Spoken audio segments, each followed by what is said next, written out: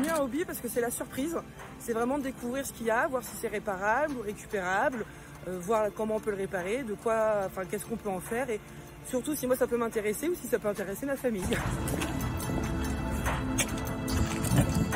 Ça m'est déjà arrivé à Jardiland euh, d'atterrir sur une poule décédée. Donc euh, pas très agréable.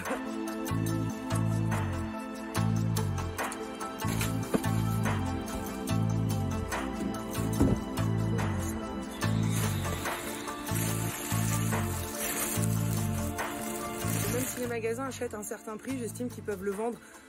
Les soldes, ils vont jusqu'à moins 70%. Donc pourquoi, autre moment que les soldes, ils vont pas à moins 70% pour vendre des choses qui se vendent plus en magasin?